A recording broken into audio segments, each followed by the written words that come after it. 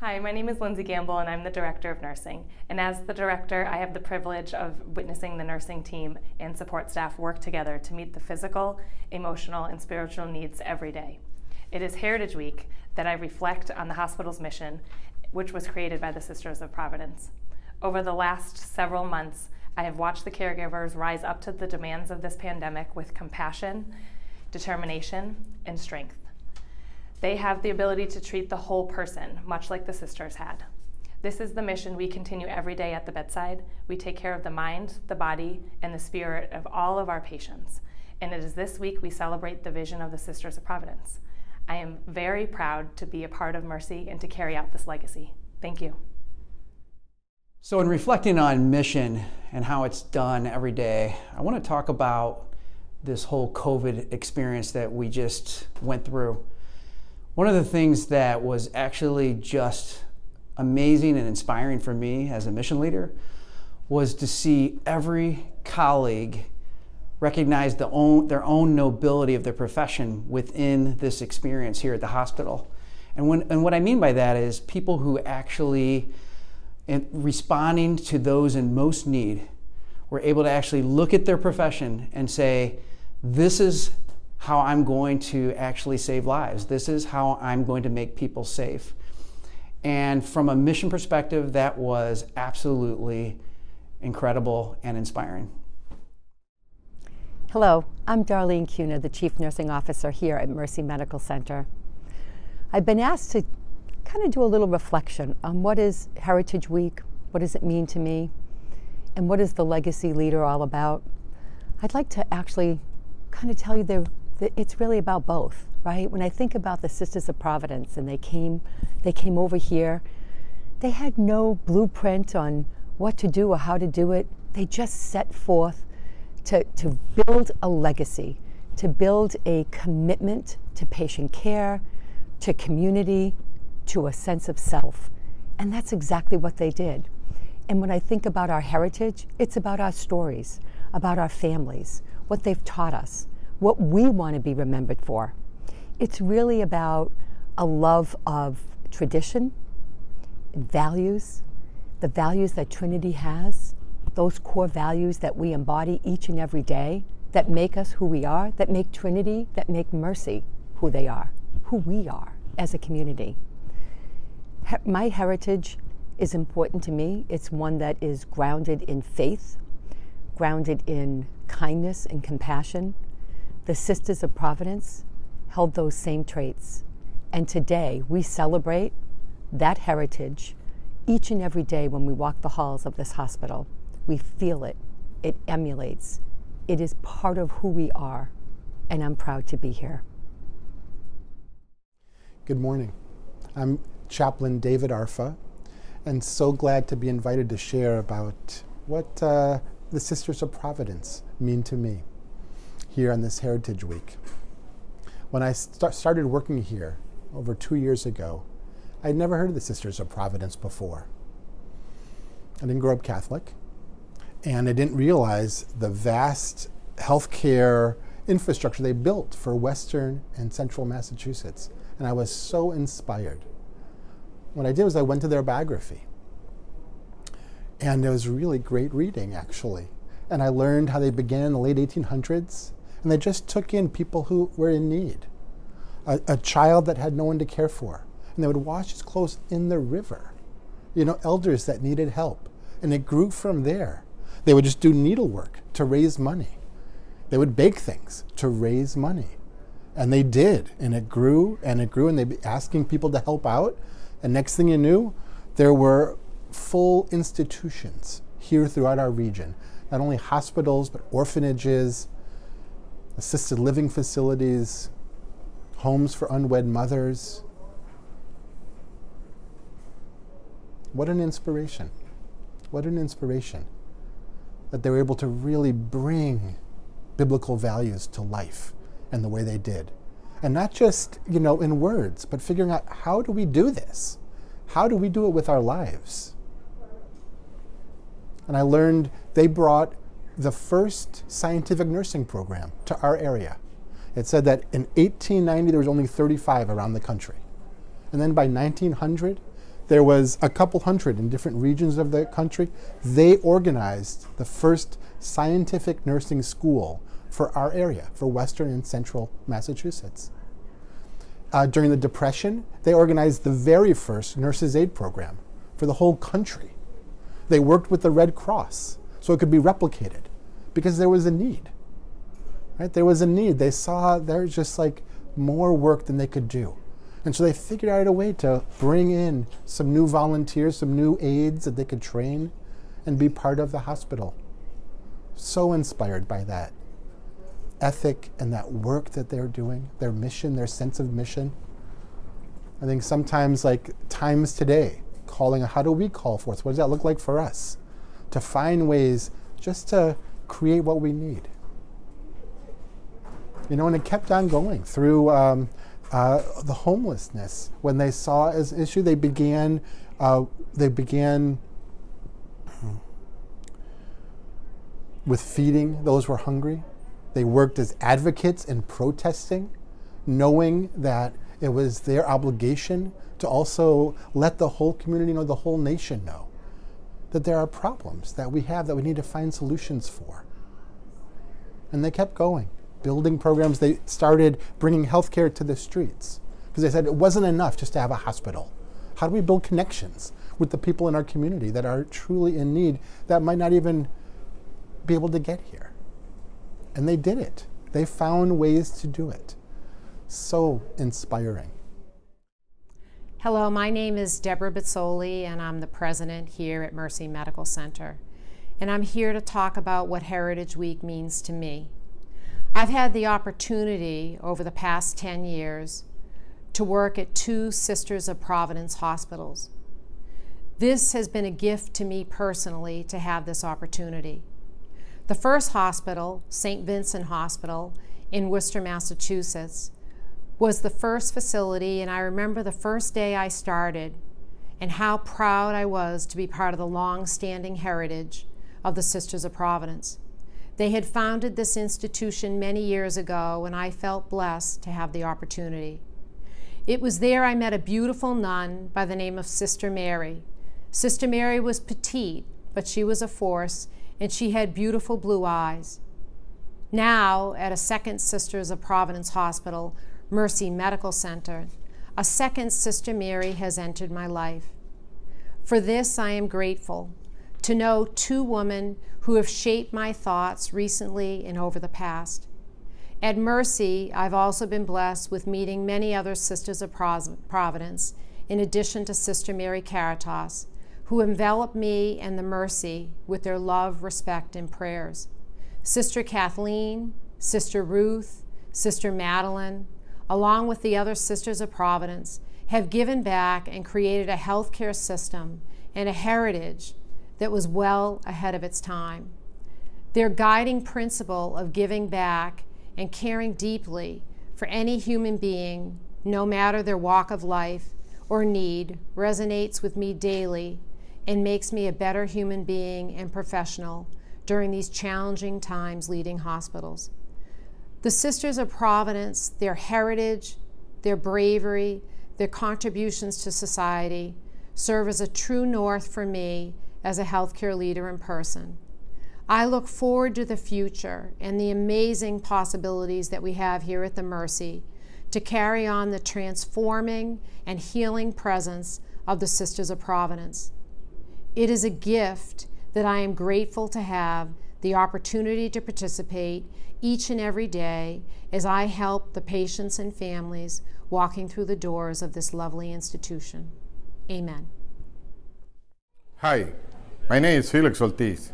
I've been working for the hospital for 45 years, and I'm proud to be part of the heritage in this hospital because I'm part of the hospital. And I do delivery for the hospital. And I enjoy every day, every hour, every minute.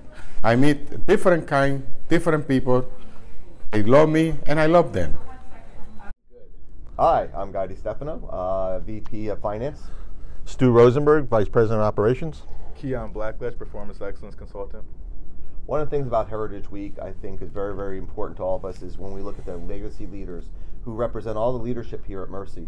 Uh, legacy leaders to me is reaching back to the past of who we are and, and what has gone on before us and bringing that forward and carrying those traditions, those ideas, uh, those things that are most important uh, forward. And if we're going to carry out the tradition as leaders, then we got to really take a look at where we were and where we're going in the future and carry on the excellence that was brought forth by the sisters. And I think the foundation laid down by the Sisters of Compassion and that compassion to care still links with us today. Uh, you know, and more than ever, I think today our legacy leaders truly carry on that compassion of care every day and the uh, community that we serve and the work that we do. I'm Janine Gasper, the nurse manager for the emergency department, and I love our mission and values. I think it's at the heart of everything we do here at Mercy. It not only guides our care, but it's who we are. When looking for people to join our team, I give them our core values and I ask them to pick one that speaks to them. And it's my favorite part of every interview is touching people's hearts, knowing that we're building a team that will serve the community and be that transforming healing presence here at Mercy. Hi, I'm Julianne Silverman Bunn, and I'm one of the chaplains here at Mercy Medical Center. And I wanted to tell you a little bit about why I love the work that I do and why I'm here at Mercy and how that embodies the mission. I came here specifically because of the mission and the history. And one of the visits that I had early in my time as a chaplain here was with a gentleman who the doctors were trying to prevent from leaving AMA. And he really didn't want to stay. And I asked the translator if we could have a conversation with the patient. And the patient and I talked a little bit, but mostly we prayed. And I held his hand and we talked and prayed through the translator. And what I found at the end of it was the gentleman was willing to stay. And when I asked him why, he said, Because you are the first people who have treated me like a person. Every time I've gone to another hospital, I've just been a body in a bed. And here you see all of me. And that's why I love to work here and I love the history of this hospital because it's all about honoring the inherent worth and dignity of every person who comes through our doors. And I think that is a mission for any hospital that we should be in the caring business and caring for all people but most especially those who have no one else to care. Hi, I'm Lauren McGrath. I'm one of the physical therapists here at uh, Mercy Medical Center in inpatient rehab. Um, I'm super grateful and feel very privileged to work in the Springfield community. We're working with folks who are from Springfield, who love Springfield, um, and really need advocates and support in order to return to the lives that they've been living before. So I'm, I'm so glad and privileged and um, and happy to be part of this team that works so hard with people um, to, to help them meet their goals and to live their lives and, and return back to what's important to them. Okay, hi, my name is Magdalene Bosso. They call me Maggie. My current role, infection control, infection prevention, and COVID spelled a lot of work for infection prevention, infection control. I was fortunate, I guess, and blessed to be in this role during this time, and it helped me live out some of the mission uh, in this role. I had the blessing and the opportunity to go out to our jail system, the Hampden um, Correction Center, and I got to spend actually a couple weeks with them, a few days here and there with different groups of people, and help them understand really what COVID is all about. And that outreach truly wasn't necessarily people that we would see on a daily basis. And I was truly uh, glad that that outreach or they had reached out to me to go to them in that capacity. And I can say that by the time I was all said and done, there was a lot of understanding and the fear because COVID has come with a lot of information, but then also brought a lot of fear with it because the information that is out there isn't necessarily all correct and people don't know how to decipher it to sort of sieve out what is useful and what isn't. So to the average person, it just presents a lot of overwhelming information and a lot of fear. And I was very glad to have been available to provide my support and services and understanding to people who don't necessarily have first-hand knowledge of what healthcare is. Hi, my name is Margaret, and I currently work as the executive assistant to the president of Mercy Hospital. I joined the health system 18 years ago, working for Brightside for Families and Children in the administrative office.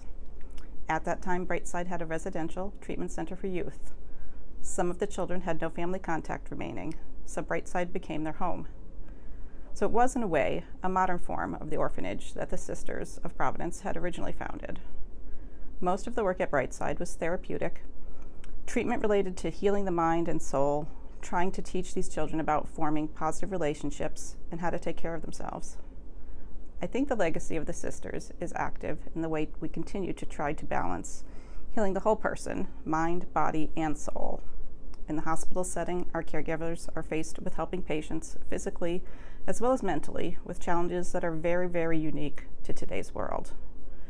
It is amazing to realize how much the sisters did with so very little. Today, we get annoyed if we have a difficult commute into the office. Well, these women worked with no cell phones, no computers, no internet connecting them to everything in an instant. Being of service to others is a gift, and it is a privilege to continue the work that these women began so many years ago. What mission means to me is uh, spiritual care. Um, care represents uh, physical, mental, and obviously spiritual. And what the nuns brought to us with their mission was a lot of spiritual care. And um, it doesn't end just with the, the physical and the mental aspects, but spiritual so so uh, embodied in what we do and with our patients and how we treat our patients. And I just want to instill that to our patients and not forget our nuns before us and, and how they brought that spiritual care to us. When we think about the mission of Mercy Medical Center, we think about the, the tradition that uh, began many uh, years ago with the Sisters of Providence and, and really caring for the sickest in the community, the elderly, the poor, the children, and continuing on that, that, that tradition of, of caring for those individuals in a compassionate way. Um, you know, providing the, the best care possible, the most efficient care possible, and, and you know, healing and providing a healing component to this, this community. My name is Michelle Strott. I've been with Trinity Health of New England for about 15 years now. Um, I actually came here prior to working here and delivered my children here. And I had a really great experience with the nursing and the staff. And that made me realize um, that the um, core values that they showed and how they took care of me in my unique situation when I delivered my daughter made me think this is probably a really good place to work. At the time I was working in Boston, but I needed to be closer to home. I applied, and 15 years later, I'm still here. I could tell you, working in human resources um, as an HR generalist, you get to see a lot of the different mission-based things that the employees do. You get stories all the time about how people care for their patients and um, the special, unique ways people go out of their way to carry on the mission, going above and beyond for people, making people feel special and welcome all the time. And I think that's why I've stayed so long is because I enjoy working with the staff here who continue to carry on that mission and the legacy and how they treat everyone, not just their patients, but their coworkers, their peers. Um, anyone who comes to this hospital, you hear, I want to go back to Mercy not because they need another procedure, but of course they always hear they have great care here and people take good care of them. So I'm glad to be working here. I hope to carry on the mission and the core values that they have here, and I hope that um, everyone else enjoys working here at Mercy as well and enjoys this week for the heritage and we relive the whole history of Trinity. My name is Molly Sullivan. I'm a mental health therapist with the Healthcare for the Homeless program here at Mercy. And Heritage Week to me really is a time to honor those that have walked before us. And I think I speak for the rest of my colleagues in the Healthcare for the Homeless program when I say we feel we've always had a special connection to the Sisters of Providence, whether it be the sisters that came to this area 100 years ago or the sisters who started our Healthcare for the Homeless program almost 40 years ago now. So whether that be Sister Caritas, Sister Sangha, um, Sister Julie Crane, we feel that we truly are carrying on their legacy in the work that we do. We um, service those that are sick, that are homeless, that are poor. We're that transforming, healing presence in the community. Um, and I think we do. We carry on that legacy that they started over 100 years ago, and we get to continue to do that every day. So we view Heritage Week as a way to honor them and the work that they laid out for us to continue to do. Hi, my name is Dr. Robert Roose, and I'm the Chief Medical Officer of Mercy Medical Center. And when I think of Heritage Week, I'm called to remember the incredible legacy of the Sisters of Providence, who always transformed how they delivered care to meet the community's needs. I recall the images of the sisters rowing across from South Hadley in a boat to the streets of Holyoke to minister to children who were left orphaned by the industrial mills back in the late 1800s. I'm inspired by the continued commitment and courage and heart that they've shown decade after decade to provide care here in our community. And it calls and inspires me to dedicate myself and proud to be part of Mercy Medical Center who carries on that mission because we're here to be a transforming healing presence in our community and we are the instruments through which healing is enabled and providence is expressed. Join me in celebrating Heritage Week and remembering and being inspired by the mission that we all hold as part of Mercy Medical Center and affiliates. I'm Cheryl Moriarty. I am the Clinical Quality Improvement Coordinator for Rehab Services here at Mercy Hospital.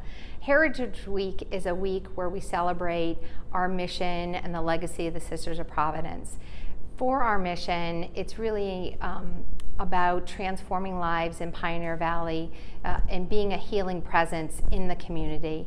In rehab services, we work with a lot of individuals whose lives have been interrupted through disability or illness. So it's with great gratitude the team I work with work with patients and their support systems and families to get them back to the community and being able to do what they did before. It's invigorating, it's exciting, and it's very rewarding. That leads itself back to a celebration um, of our mission and of Heritage Week. Hi, this is Vikram Sandhi. I'm the Chief of uh, Medicine, uh, uh, Internal Medicine at Mercy Medical Center. Um, I just want to say that during this difficult COVID time, uh, we, we held to our values, core values at Mercy uh, in terms of reverence. Uh, we were able to help individually as a team and collectively take care of very sick patients during this time. Um, the be best part was that uh, nurses and physicians worked together while they were trying to keep themselves safe, uh, take care of these sick patients, and uh, made sure that uh, they get uh, transitioned to the system in a safe manner without any harm to the families or to the patient. Uh, so I'm, I'm, honored to be part of Mercy and be part of such a good team which innovates uh, and has the resilience to go through uh, this tough time and yet, yet come out winner on the other side.